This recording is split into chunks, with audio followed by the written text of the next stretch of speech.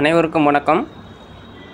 நம்ம செந்தமிழ் இயற்கை பண்ணையில் சாகுபடி பண்ணியிருக்கிற சம்மங்கி பூ வயலில் கூடு பயிரா கத்திரி தக்காளி வெண்டை மிளகா கிழங்கு இவையெல்லாம் பயிர் பண்ணியிருக்கிறோம்.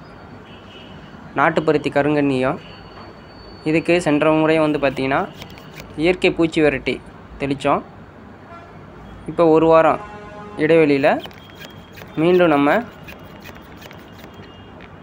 பழக்காடி கரைசல் வந்து நம்ம தெளிக்கிறோம். பூச்சி விரட்டி தெளித்ததுக்கப்புறம்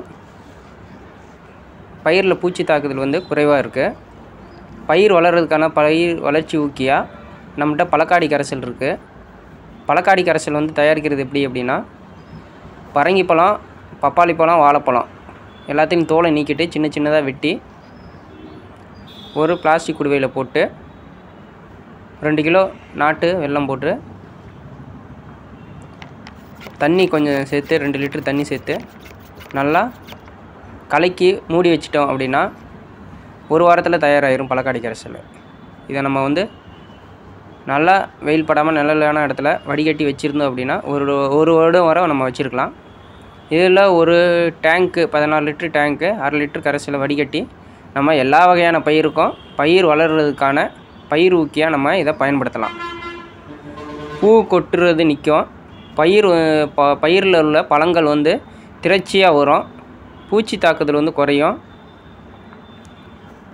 பழங்களோட சுவை வந்து கூடுதலாக இருக்கும். இதை நம்ம காலை அல்லது மாலை வேலையில் தெளித்தா ரொம்ப நல்லது. நம்ம கத்திரி தக்காளி மிளகா எல்லா வகையான பயிருக்கும் தெளிக்கலாம். குறிப்பாக வந்து இந்த கரைசல் வந்து பார்த்திங்கன்னா பூக்கிற நேரத்தில் நம்ம தெளித்தா ரொம்ப நல்லது. கத்திரிக்காய் பூ வைக்கிது. வெண்டை பூ வைக்கிது மிளகா பூ வைக்கிது அப்படிங்கிற நேரத்தில் நம்ம தெளிக்கும்போது இந்த பூ கொட்டுதல் வந்து ரொம்ப குறைவாக இருக்கும்.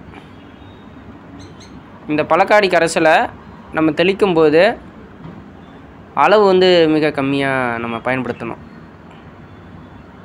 ஒரு டேங்க் அரை லிட்ரு அப்படிங்கிற கணக்கு நமக்கு போதுமானதாக இருக்கும். கூடுதலாக நம்ம பயன்படுத்தக்கூடாது. ஒரு பதினைந்து நாள் இடைவெளியில் நம்ம இதை தொடர்ச்சியாக நம்ம வளர்ச்சி ஊக்கியாக நம்ம இதில் தெளிக்கலாம். இந்த வடிகட்டுறது ரொம்ப சிரமம் அப்படின்னு சொல்லுவாங்க. நம்ம இயல்பான வடியில் வடிகட்டலாம் அப்படி இல்லைன்னா பூண்டு சாக்கு கடையில் இருக்கும். அந்த சாக்கை வந்து நம்ம வடிகட்டியாக பயன்படுத்தி இதில் வடிகட்டி அதுக்கப்புறம் நம்ம நம்ம தெளிப்பானுக்கு ஊற்றலாம் செந்தமிழ் இயற்கை பணியிலிருந்து உங்கள் உழவர் போதி பகவான். நன்றி வணக்கம்.